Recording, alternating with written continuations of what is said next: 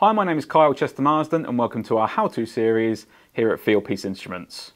Today I'll be showing you how to perform a vacuum test using our tools and the Fieldpiece JobLink mobile or tablet application.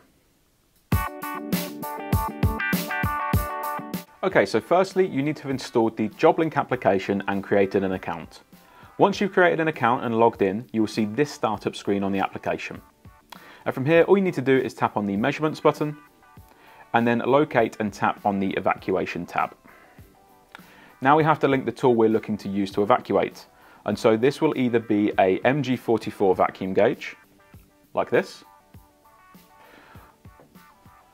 or we can use the built-in vacuum gauge on either our SM380V or SM480V manifolds. Today I'll be using the MG44.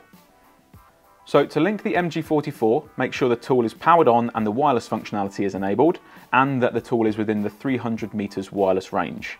And then we can tap on Link Tool. This will display any vacuum gauges that are within the connection range, and so to verify your tool, you can use the ID number on the screen as a cross-reference on the tool itself.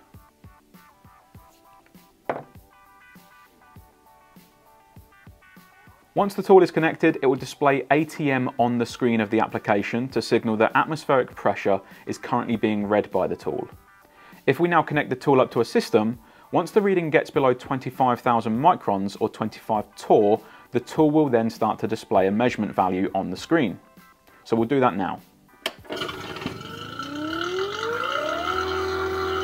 As soon as a vacuum pressure value is being read by the tool, the app will allow you to start a timer on the screen that can be used to time the evacuation. This then shows the start value of the vacuum and the time that the vacuum has been running for.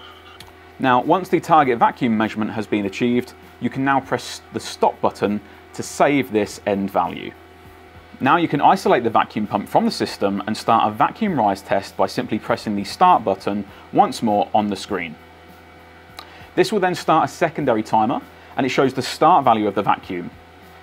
After the vacuum rise test has expired, you can simply press the stop button to stop the timer and save the end result value. If you would like to export this information as a PDF, then simply tap on the small yellow circle with the three black dots on the bottom right of the screen and select Create PDF from the pop-up menu.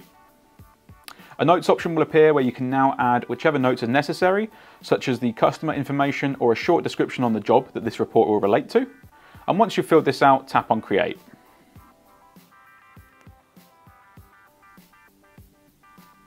You will now see the evacuation container is populated with the test results we just performed using the MG44 vacuum gauge.